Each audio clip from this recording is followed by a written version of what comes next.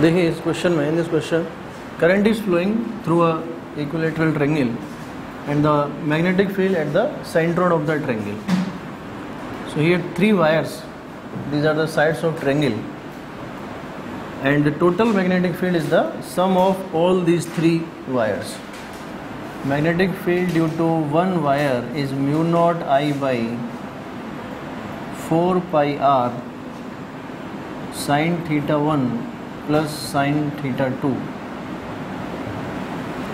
here r is the distance. R it can be calculated by using triangle.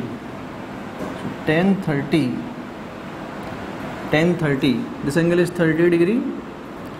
Tan 30 equals to r by a by 2 so r equals to a by 2 tan 30 tan 30 is 1 by root 3 so a by 2 root 3 here we can put it here and theta 1 theta 2 are 60 60 so magnetic field due to one wire equals to mu naught i by 4 pi a by 2 root 3 uh, this is root 3 root 3 by 2 into 2 uh, magnetic field due to one wire. So total magnetic field due to all three wires is 3b so our answer is 3b here we can calculate this.